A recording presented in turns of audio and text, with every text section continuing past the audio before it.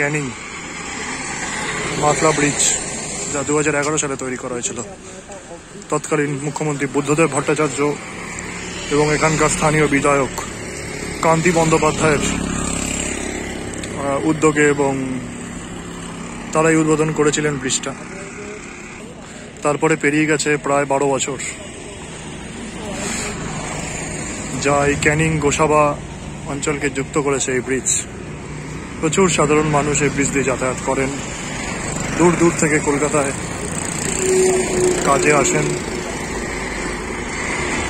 ওখানেও একটা ব্রিজ হওয়ার কথা ছিল। কিন্তু দীর্ঘদিন ধরে দেখুন পিলার হয়ে পড়ে আছে, কিন্তু এখনও হয়নি। এই যে মাতলা নদী আর দূরে দেখা যাচ্ছে নৌকা।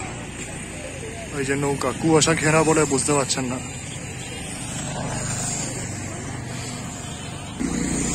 একদম সরাসরি ব্রিজ থেকে। অনেকদিন পরে আবার আপনাদেরকে দেখাচ্ছি। চলুন আরও ভেতরে গিয়ে আবারও দেখাচ্ছি আপনাদেরকে।